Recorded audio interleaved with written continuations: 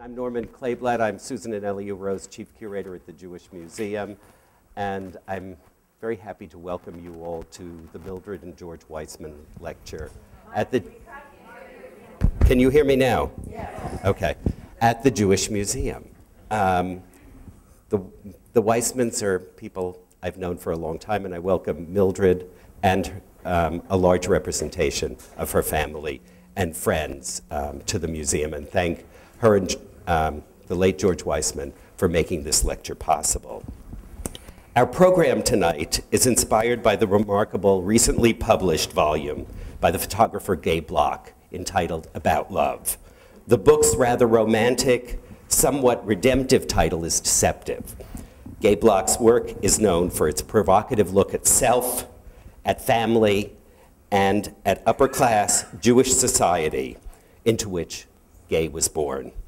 In her photographs, Gay has dealt with issues of sexuality and gender, the constrictions and contradictions of privilege, as well as the vulnerability of age at both ends of the spectrum. With Gay's unflinching glance, I could propose few better partners in conversation than the writer Daphne Merkin. In, the wor in words and photographs, they have both brought to light serious issues of gender and class, American Jewish dreams, and disappointments. As a portrait photographer, Gay Block began in 1973 with images of her own affluent Jewish community in Houston, and later expanded this to include different demographics, namely South Beach, Miami, and young girls in an upper class Jewish camp. The latter were shown at the Jewish Museum in the mid 1990s, and I myself had the pleasure to install them. Her landmark work with writer Malka Drucker, Rescuers, Portraits of Moral Courage in the Holocaust, was both a book and a traveling exhibit, and has been seen in over 50 venues in the United States and abroad, including the Museum of Modern Art in New York in 1992. Block's 30, um, in 2003, Gay Block's 30 year portrait of her mother um, became a well received traveling exhibition. It was titled Bertha Alice, Mother Exposed. Um, and it was published by Highlight Books. Um, um, in, an, another book was published with Drucker was um, the 2003 um, book about um, Camp Pinecliff. The topic tonight about love was published last September um, that's September 2011, and Block's photographs are in museums and private collections at the Museum of Modern Art in New York, Modern Art in New York, San Francisco, MoMA, the Museum of Fine Arts Houston, and not least the Jewish Museum. Daphne Merkin is a cultural critic and contributing writer to the New York Times Magazine, Elle and Tablet. Formerly a staff writer at the New Yorker, where she wrote about film, books, and figures as varied as Sigmund Freud, Marilyn Monroe, and Kurt Cobain. Her current work continues the topics um, of high and low, or on, work on topics high and low, including, most recently, cont contemporary Jewish cinema and the changing ideas of child reading. Um, she's also published a defense on antidepressants. Um, Daphne is the author of a novel titled Enchantment, and a collection of essays dreaming of Hitler. She lives with her daughter here in New York and is at work on a memoir called Melancholy Baby. Using highly different materials, words, and images, um, photographs, and text, um, the, uh, both are remarkable artists whose work is searching, honest, and disarmingly personal. I welcome Daphne and Gay. Thank you.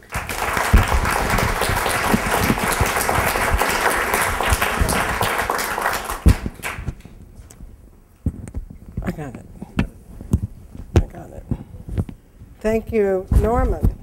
I think it was brilliant, a brilliant idea. You all can't imagine how much fun Daphne and I have had. Well, I can talk louder, but let's see if I can get this closer. Um, you can't imagine how much fun Daphne and I have had sort of going, preparing this. So it's very nice to make a new friend, and it was a brilliant idea. Thank you very much. Um, We're not 100% sure what the format of this is going to be, but I'm going to begin a little bit. Um, And we hope you enjoyed this as much as we enjoyed all the preparation. Um, About 35 years ago, there was an article in the New York Times Magazine written by a woman who was uh, having a spiritual, examining a spiritual awakening. She said that uh, a rabbi asked her, What is the opposite of pleasure? And when she answered pain, he said, No, pain is a part of pleasure. Comfort is the opposite of pleasure. I uh, feel that that has something to do with my photography.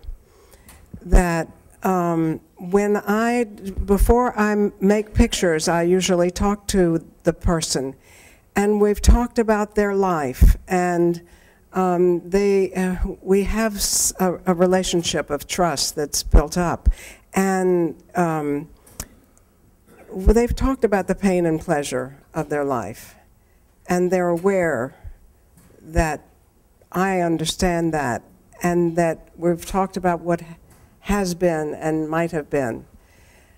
And so there's nothing particularly comfortable about that.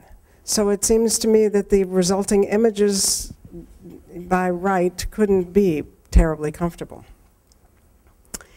Another thing I want to tell you about is um, my mother, because I began photographing her when I began photography because my first photography teacher said, go out and photograph something you need to understand. And she was the most inscrutable person in my life.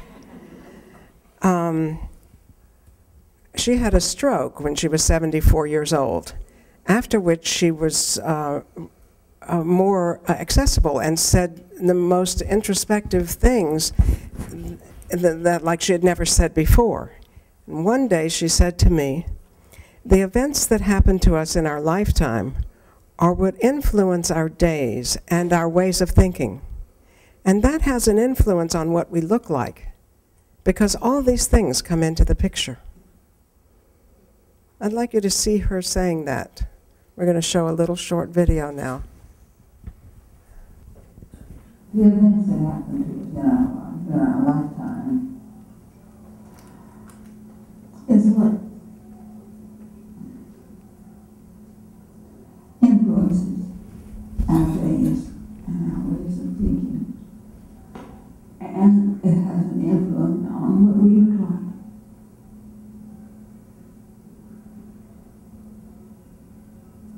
Because all these things come into the picture. So it was um, pretty amazing to, after all those years, to have my mother acknowledge that um, she knew what I was doing, and she knew it in an amazing way.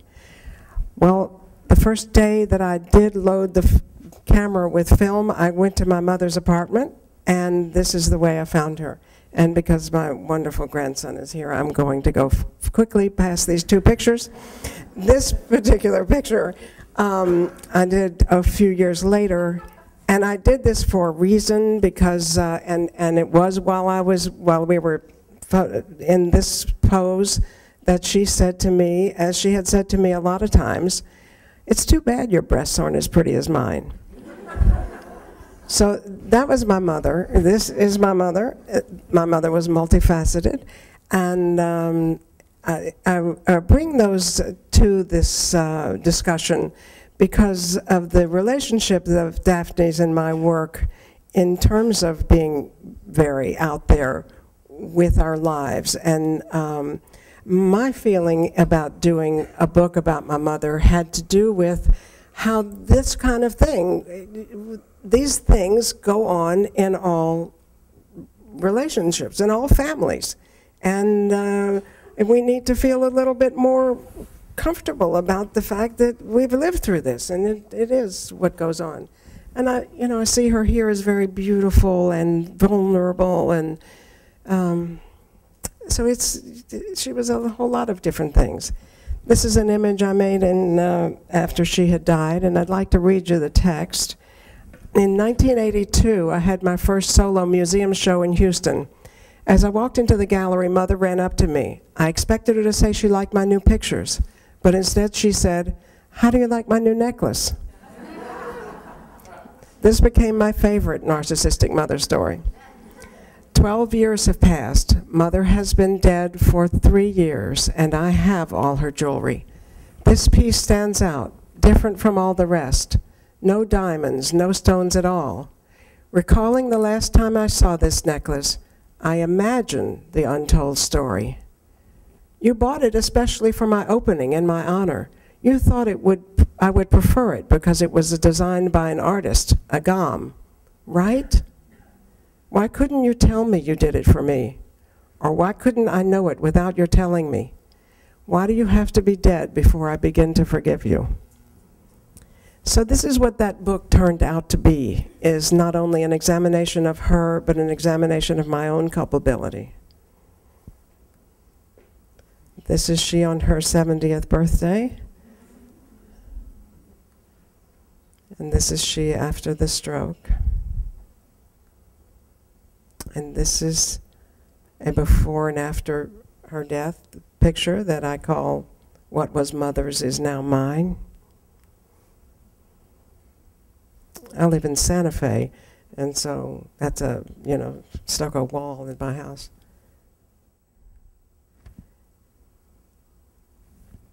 As I was beginning to photograph, I photographed people, and even when my mother was not in front of my camera, she was the one I was photographing.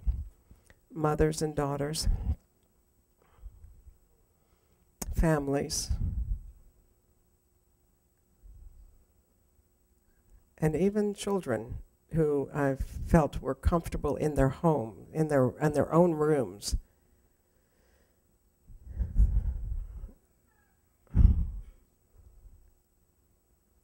And this picture, is uh, from a series at the Jewish Community Center swimming pool in Houston.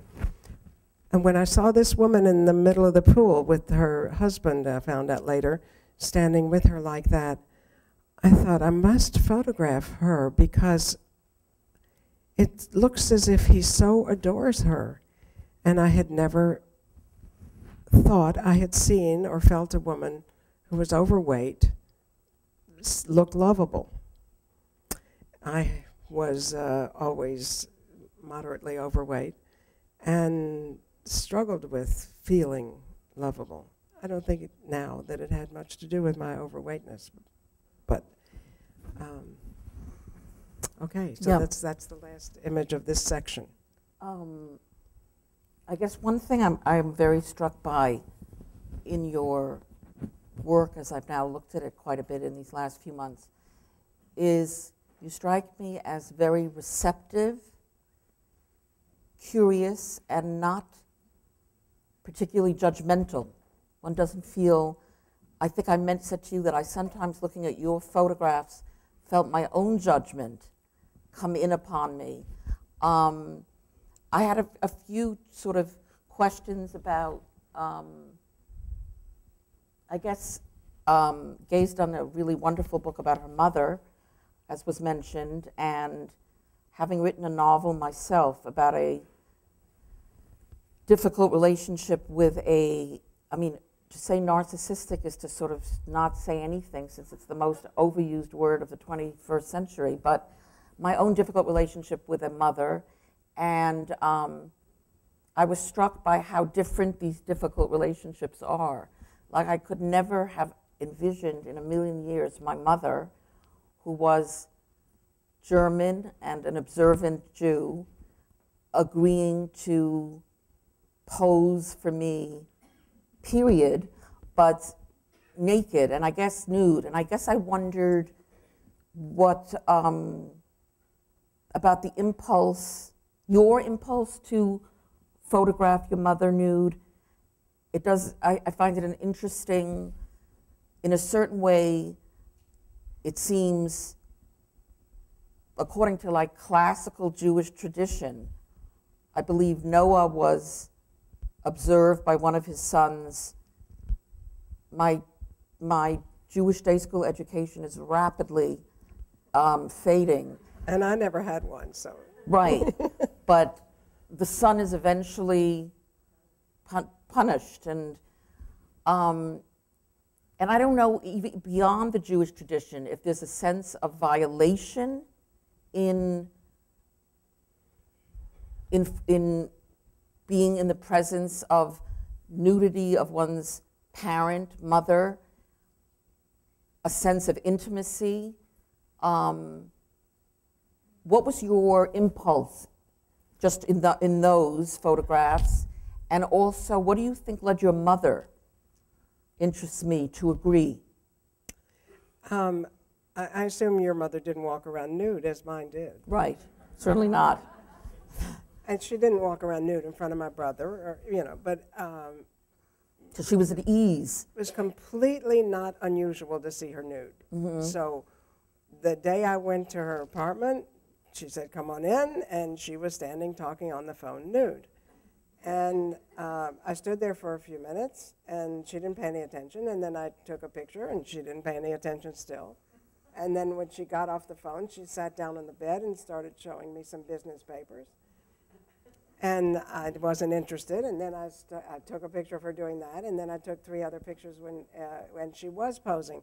So it was just, uh, it wasn't so much an Im- impulse to photograph her nude. I got there, and she was nude. Right, right. And the, but the second one, three years later, was an impulse to, if she says my breasts are prettier, let's put it on black and white here. Right. In some ways, I think the impulse, it's interesting, is partly to sort of document, but also to, I mean, I think one thing we share is a wish not to keep everything hidden under the covers or under the rug. Like families are basically pretty inviolable for all that we, you know, for all that we um, trade in gossip and innuendo, you don't really know what goes on behind the doors of most families. And I think one of your impulses to, is to sort of say, here, let's break through the door and show some of what's taking place. I think one thing I'm curious about, just I think it would interest people here, is that you said that through photographing your mother, you came to understand that she loved you or felt that she loved you, I'm assuming in her way. No, no, I didn't. I, it was after she died Right, that I was able to see love in her Eyes. eyes in, in a picture in which she is looking at me. right. So it's, it's, it's situated in that one photograph. That's right. And I was seeking that, but I never found it. And maybe my own, uh, no. It, it, every time I would feel okay with her, she would do something that was, you know, abominable again. So, no, I never found it, but I really found it after she died. I worked on that book for 10 years after she died and never, you know, had never really exhibited many other pictures, and um, it worked.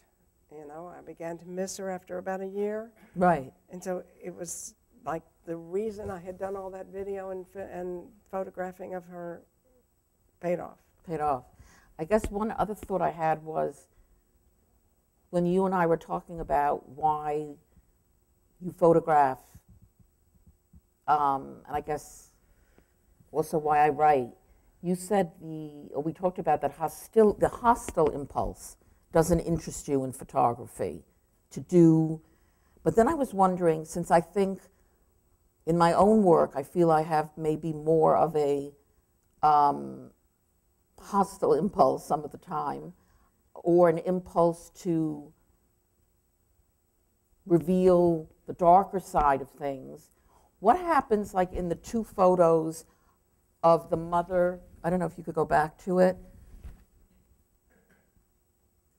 This photo and the photo before it.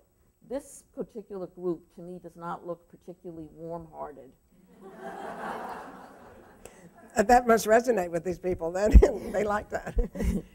And I wonder, This is Houston. I don't think any of anybody was very warm. No. Right, but you, did, you- would you say that you approach them with, I'm going to tell you that I photographed these people at a sisterhood luncheon. Uh, I had my camera on a tripod. There were big windows at the temple behind me, and and they were and they. I asked particularly for mothers and daughters to come up, and uh, this particular picture I identify with the daughter on uh, your left. Um, because she's overweight. I identify with the pain she feels because she doesn't look like the other daughter or the mother. especially her eyebrows?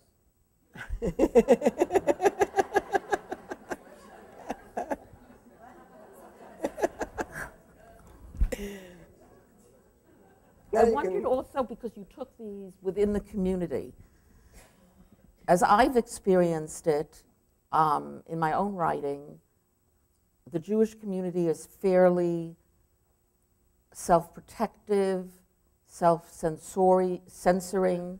How did they, how did the member, how did they react?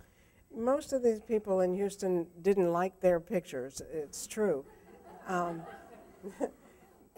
I went, however, um, I don't, 70, this was done in 76, maybe in 86, sometime later. Uh, and the three of them were gathered at the mother's house and to, to rephotograph. And they were particularly unsuccessful pictures, so you'll never see them. But um, By unsuccessful, what do you mean? I'm curious. They didn't cohere? I would never make a print that Print. I liked. Right. I, you know, I looked at them and made prints, but uh, they, yeah, they weren't. I don't. I, Right. you're the word person. I don't know. I, I also have a question about that one family group. Not, the- these two also look, this, Oh, this the- seems like a- there's a big, there's a story behind it, because I think we discussed that the father looks on a different dimension. He looks like the impresario of the family, and the others sort of seem to take more of a literal back seat. that's what made it a successful picture to me, and that's why I printed it, and that's why it's being shown here. Yeah. Yes. Um, it may not have appealed to some other photographer in that way, but to me, that's why I liked it, Right. and it spoke to me. Did they like this photo? Looks like they would have. I don't know. Um, I had a show in 1979 in Houston at the Cronin Gallery, and Robin Cronin was from um, Hyannis, and her mother happened to be in town. And she said, Come to Hyannis and photograph. All the Jews look the same there. so she said, she gave me phone numbers, and I was there for three weeks uh, and photographed. And I sent them pictures afterwards, but I have no idea if they liked it or Like them, right.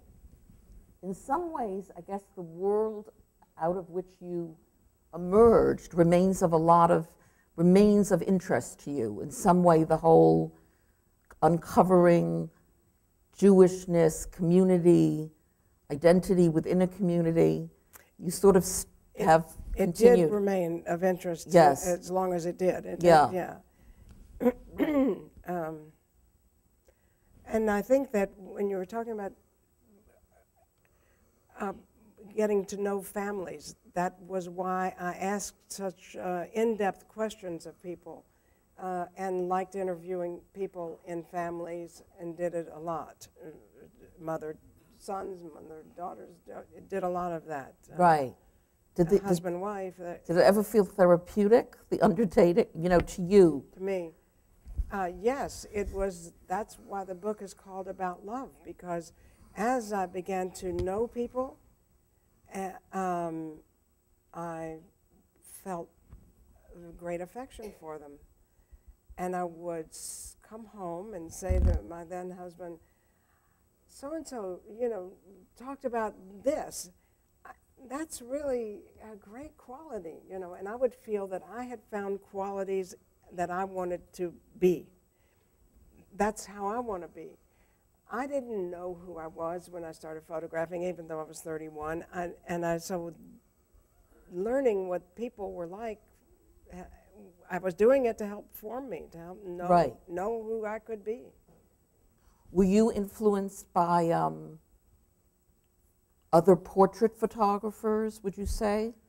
Certainly, August Sander and Diane Arbus Right. were certainly my um, more what I would call my spiritual ancestors. Yes, Right. yes. Yeah. Shall we go to the next Yes. uh, group of pictures? Yep. And so then in 1982, I went to. Uh, okay, yes, sorry. I went to Miami for the first time uh, because I was. Uh, I went with Debbie Friedman, who had a concert there, and I had never been to Miami. And I saw the people sitting on the porches, and it, it began a, a photographic uh, journey for four years. I went back and forth to South Beach. I loved these people. I did a video about them. The video, and that's my shadow on the back of his pants. I had an argument about that. Uh, because uh, just recently someone asked me, "Uh, "Did you take that picture because he wet his pants?" And of course, I'd never thought of that. Um, but of course, I, if that had been the case, no, I would not have Right. taken the picture. Right. It didn't occur to me that you. And this is what it was like in Miami. This is Tilly in 1982 and 84, or yeah, three and 85, I think. And this is the, what the people were like. It uh, uh, we were, they sat on the porches or they went to the beach and sang and played cards. And uh, this was a, a porch, and I saw this woman smoking as I was photographing some other people. And when I turned to her, I said, uh, I, I love the way you smoke. Can I take your picture smoking? And she said, Why not? And they, you know, it's like, who cares? Why not? I really, uh, they, these, of course, it was the beautiful deco hotels. All this uh, doesn't exist anymore um, because it's the fancy mm, South Beach. South Beach of our time. I think that's the last of those. Yeah. pictures. I think this is one among my favorite of your of your um, photo. Uh, this group is among my favorite because it seems to me that when when you look at them, first of all, like I'm, uh, we're all used to sort of old Jews in Miami being the stuff of caricature or kind of Catskills humor. Um, there's something just so unpatronizing and affectionate about these photos that I was very struck by. I was wondering because they, the um, people seem largely unself-conscious. Was it? Did you put them at ease, or did they? They don't look like they're. Very few of them look like they're uncomfortable in front of the camera. I never felt they were uncomfortable, and you're right. And um, the, um, you know, we talked a minimal amount, not, but I loved their Yiddish accents. I loved who they were. I loved their independence. Right. The fact of how they could live at this time in their lives, how they could um, walk to the corner grocery and walk to the beach and sit around and sing Yiddish songs and. I think I feel they were the Bubbies and Zadies I hadn't had. I grew up in a Reform congregation in Houston. My parents were very Reform from Louisiana. And um, once when I was in a uh, carpool in high school with uh, friends from the conservative temple uh, synagogue, I think you say, um, I came home and said oy vey one day, and my mother said, we don't talk like that. So I loved these people. I loved them, and I kind of feel they were. I was a part of them somehow in some past life. Right. No, also you, you, I think you say somewhere, there's a wonderful video of these. I watched it mesmerized as this sort of competitive one-upsmanship about who moved to Israel when and why didn't you stay in Israel when you got out of the camps. And There's one man who's put on the defensive, but they're like, they have enormous character. Again, I was struck because I often find photos of the elderly bring out more isolation or sadness, that there was a lot of joy in these photographs. Well, that's another thing they say on the video. It, you know, it's so much better to be here. You go to concerts, you, you talk to people, you're alive here. In New York, you'd be sitting around thinking about when are you going to die? Right. And there, are- the other thing that interested me that um,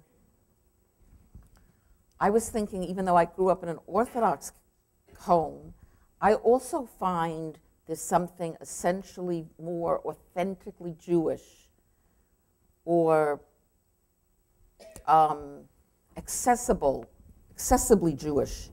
I was trying to think, was there some essence of Jewishness that can get caught on film? Um, also, what was the decision? Did you make the decision beforehand or when you got to Miami to use color? I mean, it seems to demand it. It was the first time I'd used color, and Yeah. it- Miami was color to me. Yes. And so I, I didn't have a choice. It, Right. felt, it felt like I had no choice. Okay. Okay. Um, we'll go to the next uh, series, which is Rescuers. And talk about having no choice. These, these are Christians who rescued Jews during the war. And I was, something I thought about as I was, um, as we were talking, the, the book is called Photographs and Films. And so all the films that we're referring to, the film about Miami and the film about rescuers and the film about the, the early pictures too, they're all in the back of the book in uh, two DVDs. And uh, this woman was from Poland and rescued a lot of Jews and smoked like that the whole of the interview. Uh, three hours. She lit one cigarette from another and uh, exhaled that way every time she exhaled. So, in terms of photographing, there was no other way to photograph her. Uh, it, and it, to me, it uh, sort of showed who she was. She had, after the war, worked for Solidarity in Poland and spent time in prison, she and her husband. And, and again, about photography, um, these two guys worked together in the Netherlands and saved a lot of people, but the guy in red with the sort of mohawk was a, a real bandito. And the other guy was um, uh, the one who Arnold brought Jews to, and he took them into his home. He had a wife and child. And then when Arnold went back to Amsterdam to get more Jews, Sena distributed them in the, the village. And so there was no way to take this head and shoulders shot of them together because they looked so different. And as you can see, I, I had to go straight on with Arnold and sort of down with Sena. And that was completely intuitive. I, I know the thought did not come into my head about how the picture needed to look. And I have to show her picture every time because before we put our stuff down, she said, I feel that human beings are like pianos. We have high notes and low notes. I was just lucky that during the war I got to play my high notes. So these people did not ever say they were, they were heroes, would argue that they were not heroes.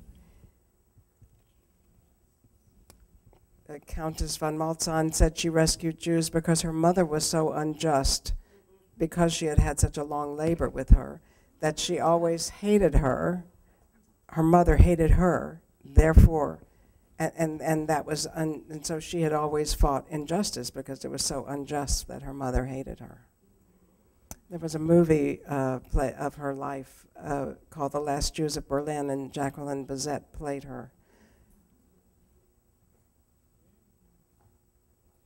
Amazing woman in Germany that we met.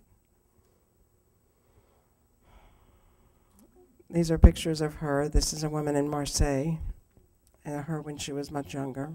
I found that on the wall and asked her to hold them. Mm, My friend and former curator uh, at Museum of Modern Art, Susan Kismaric, is the one who chose to show um, rescuers at MoMA.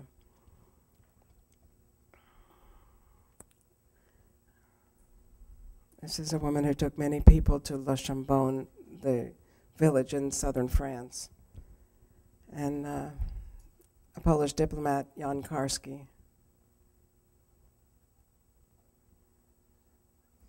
Um,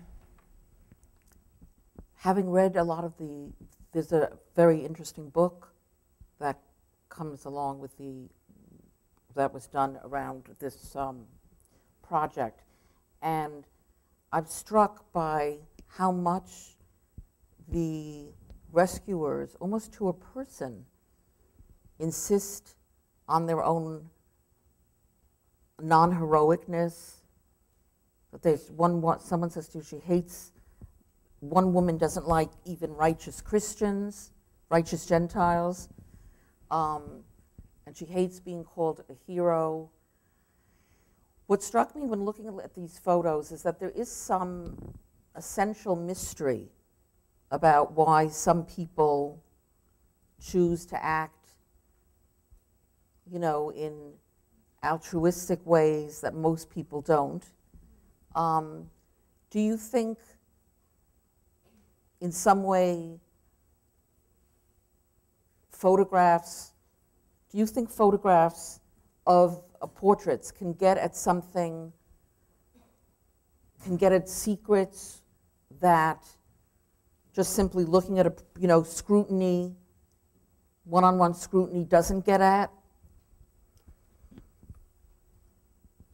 Well, I'm not sure. I think that scrutiny has, um, it's, a, it's a strange word to me because it, the way somebody looks to you or is with you when, they, when you're talking to each other is, it seems to me, the way they feel with you.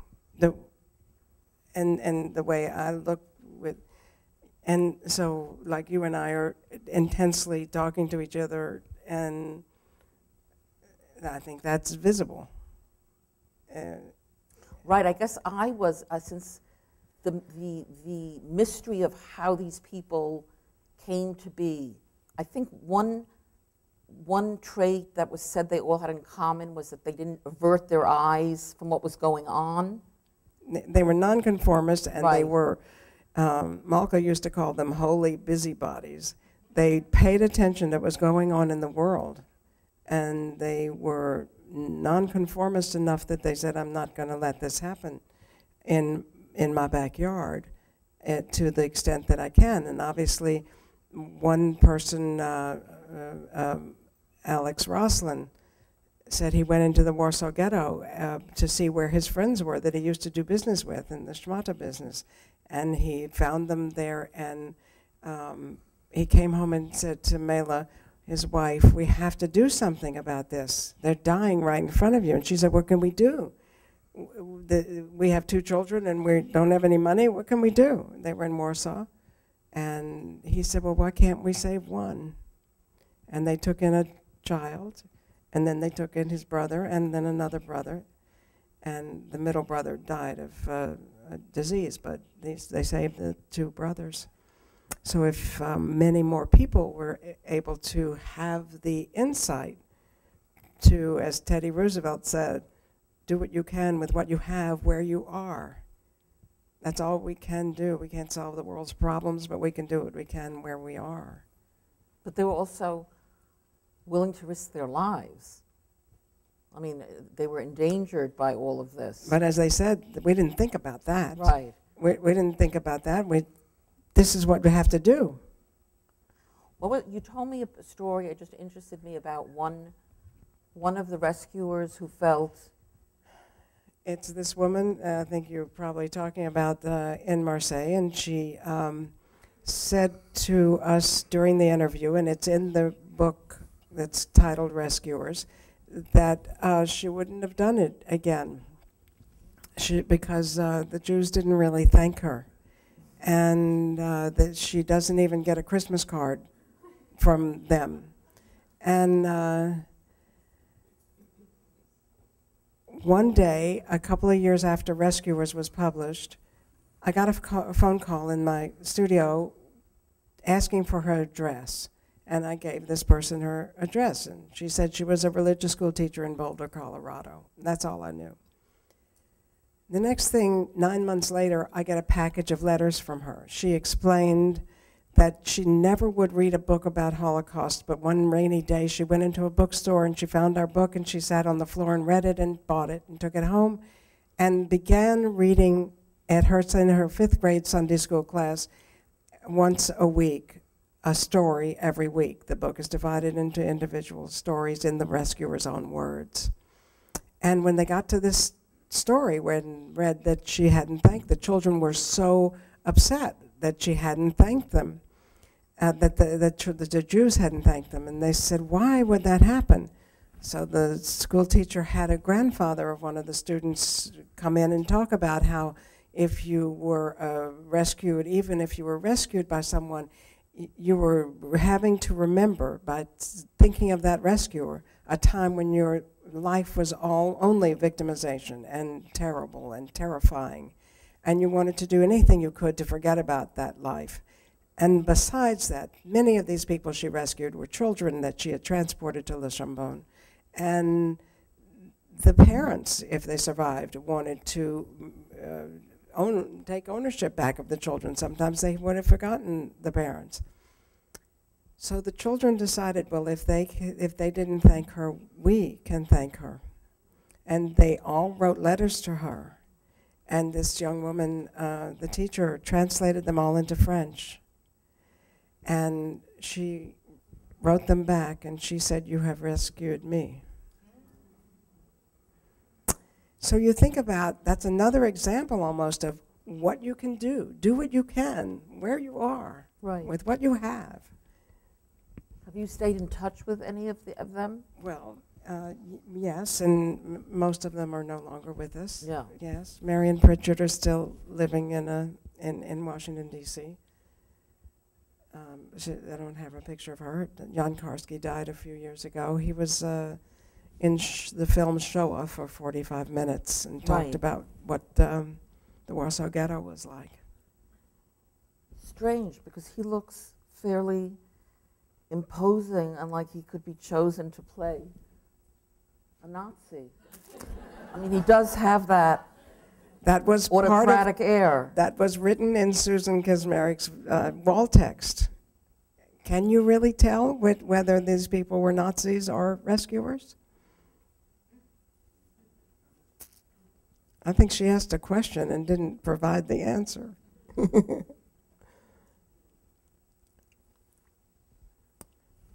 we? Yeah. Um, the next uh, series is uh, I had a commission to photograph ethnics in Houston. They were, it, there was a burgeoning ethnic co- community.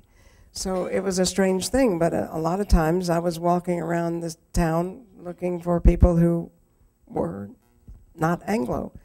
I, this is a guy in the indoor Jewish Community Center swimming pool, a Filipino nurse.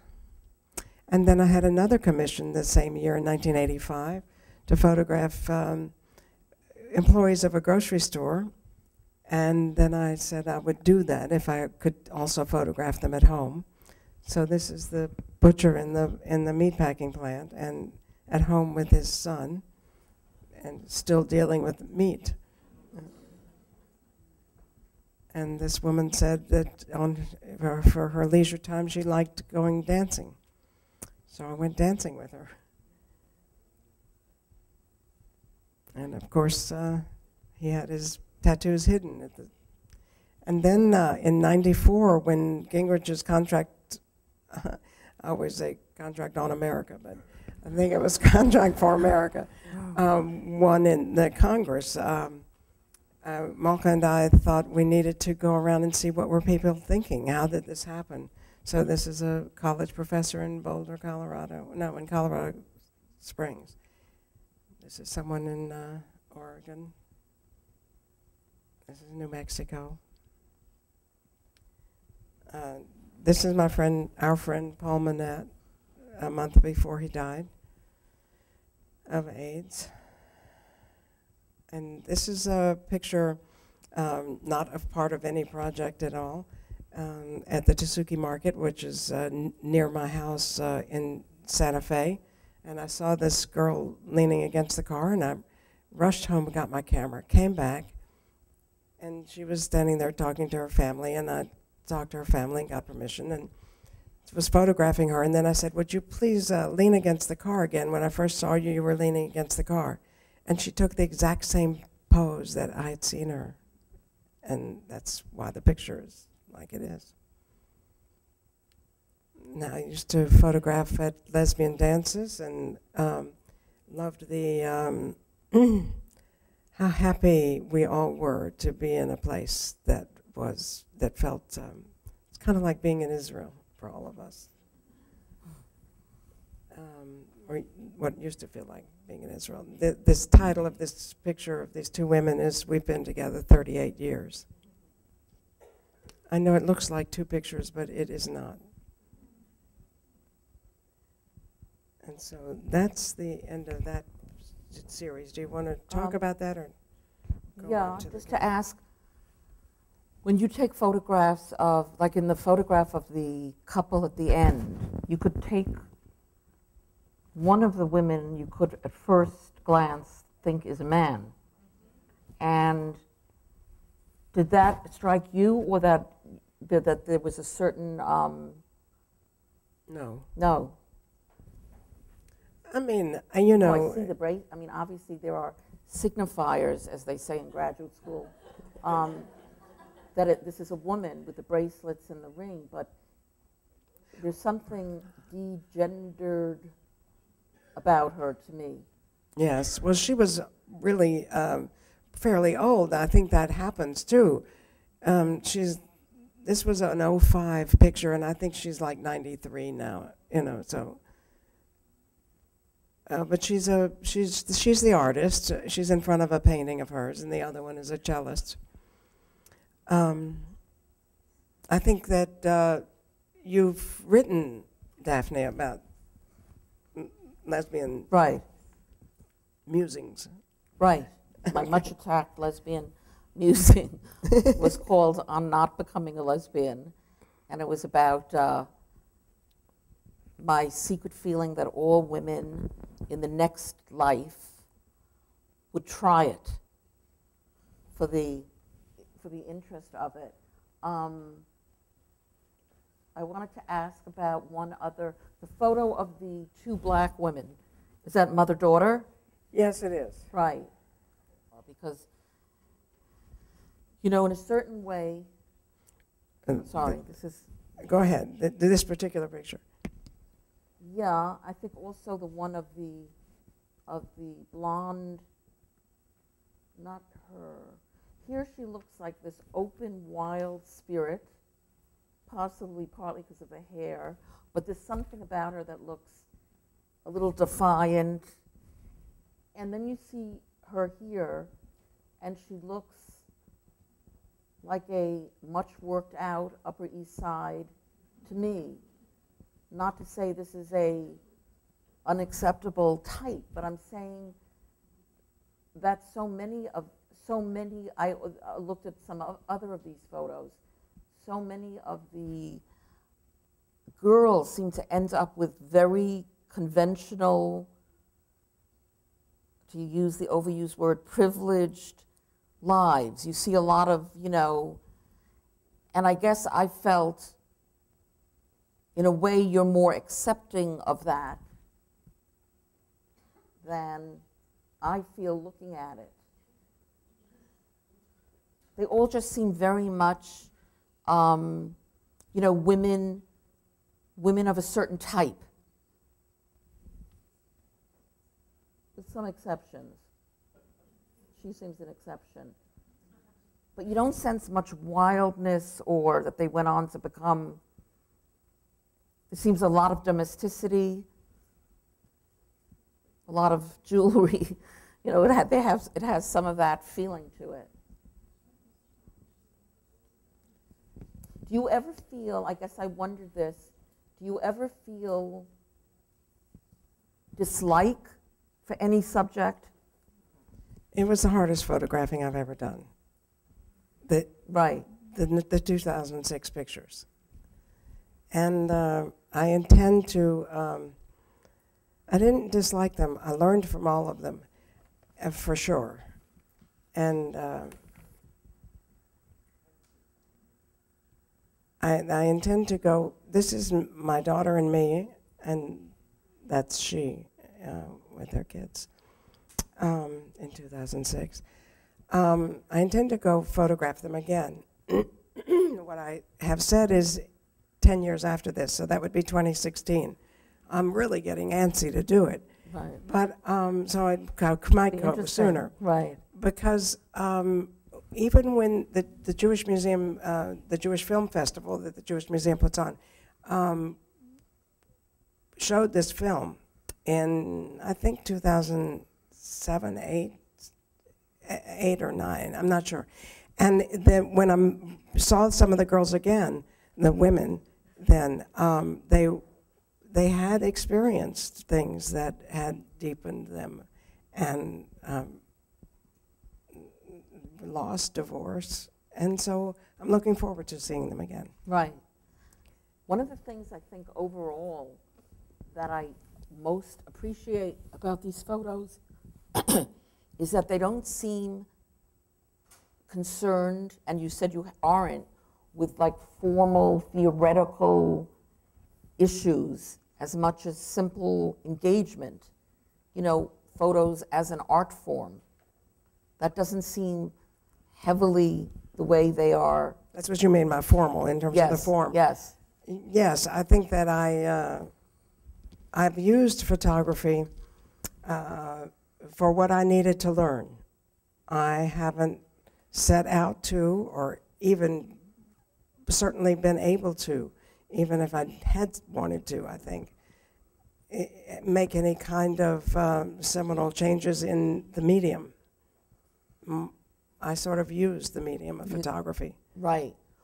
Just as out of curiosity, since you began, over the last decades, photography has fairly much become the ascendant cultural form. Do you have feelings about um, the prevalence, the number of, you know, the enormous amount of photography schools and I, I think it's I think it's great. Yeah. you know, I, I um, photography, but besides being what you just described it as, I'm sorry, it's changed a lot, and right, you know, does, most pictures on museum walls don't look anything like this right, anymore, and I like that right. too. I mean, I like both forms. Obviously, I relate more to the um, to this kind of pictures, but I certainly can recognize good art, Yeah, no matter what form it takes. takes. Um, okay, I think, Are, would you, are you wanting to uh, put this open to questions? Yeah, I think, can you, I don't know if I'm working, but thank you so much for being with us and sharing your stories. and-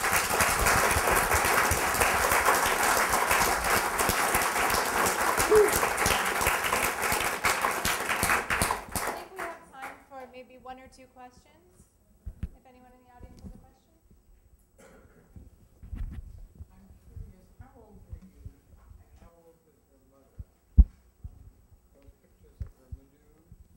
Okay, I was 31, and those nude pictures of her, and she was 60. She had quite a figure, quite a body, didn't she? certainly did. She was 60 in those first nudes and 63 uh, in the bare breasted picture.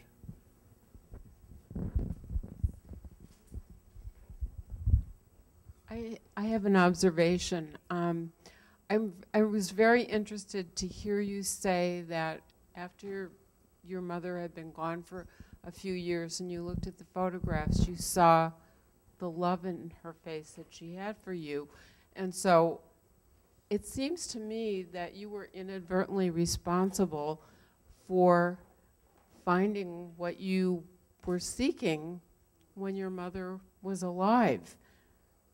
Um, because if you hadn't taken those photographs, you would not have come to that I was going to say epiphany. That's not really the right word to use. No, but you're absolutely right, and I've never been able to be a journal writer, so I don't write things down, but I do use photography as memory, as to help my, yes, that's absolutely true.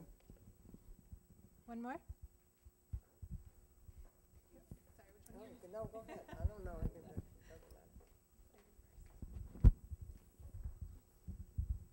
Thank you very much. Uh, May I just ask you, could you tell us something about your father? Uh, uh, Gladly.